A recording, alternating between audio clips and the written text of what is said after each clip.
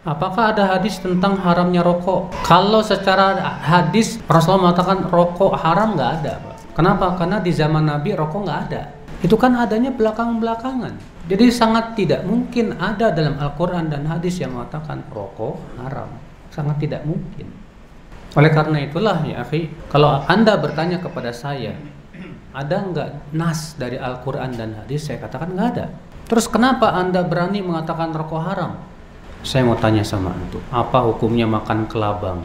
Kalau antum berani mengatakan haram, mana dalilnya dari Al-Quran dan hadis? Ada? Nggak ada. Karena kelabang adanya di Indonesia, Pak. Di Saudi nggak ada kelabang. Kalau Anda berkata haram, karena kelabang itu bahaya, beracun, sama. Lebih beracun rokok. Ilatnya sama. Sama-sama apa? Berbahaya.